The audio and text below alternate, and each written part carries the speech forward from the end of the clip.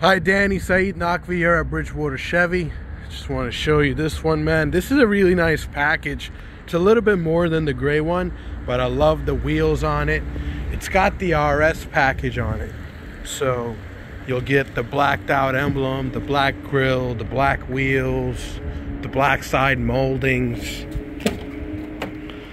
And then inside, it looks really nice. So it's really nice package. The gray one might have different wheels and some chrome around it, uh, from what it seems like. That's why it's a little bit less. So, but this is something really nice to have, and it's in stock.